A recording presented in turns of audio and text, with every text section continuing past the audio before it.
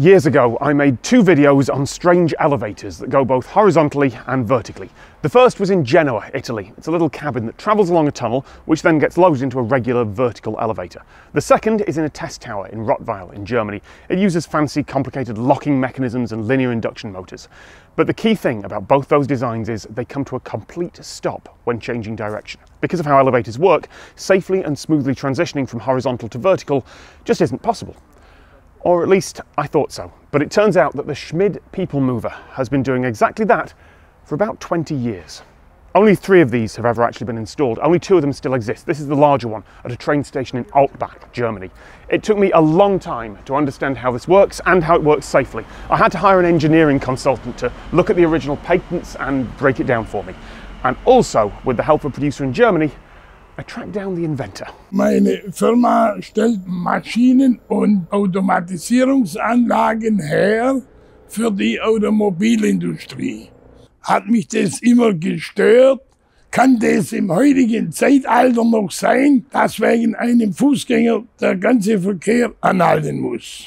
Meine ganzen Mitarbeiter, die haben mich für bekloppt gehalten, wo ich das Modell da vorgeführt habe. Und trotzdem habe ich da immer dran weitergearbeitet. Ich habe dann auch Verbindung aufgenommen mit der Straße und mit der Bahn und die haben dann sehr interessiert sich gezeigt. Dann habe ich äh, zwei, drei Jahre gebastelt nebenher, bis ich dann eine Lösung hatte.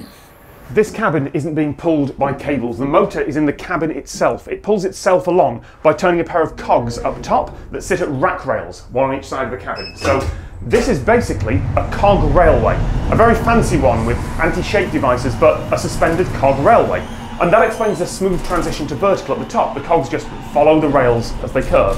But how does it do this safely and then travel vertically without, you know, falling to the ground? Well, like the elevator in Genoa, it does get a bit of help on the vertical part. It locks onto a carrier device and a counterweight with safety systems that are roughly equivalent to a regular elevator.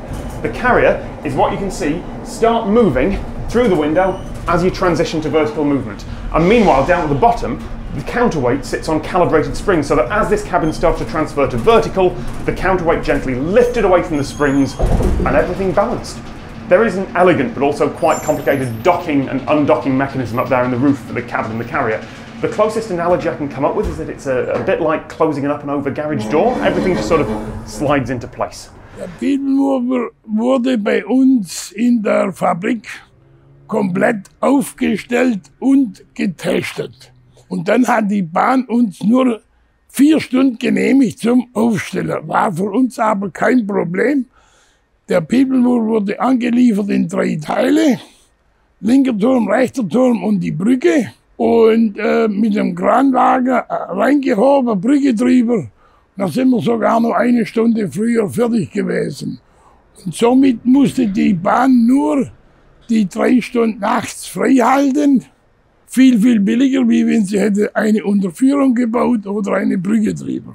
It's a wonderful design, but it's also complicated. And the alternative is to put in an underpass or two mass-produced elevators and a footbridge between them. Because if one of those elevators breaks down, well, it can be fixed by any qualified technician using off-the-shelf parts instead of someone who has to be specially trained for this one rare bit of equipment. And if you have a footbridge, you probably also have stairs. So if one of those elevators breaks down, there's a backup. It doesn't work for everyone, but it's better than nothing. And that also means that if you are late for your train and physically able, you can just run up, across and down the footbridge instead of waiting for the people mover to arrive. Now that said, there are advantages to this system.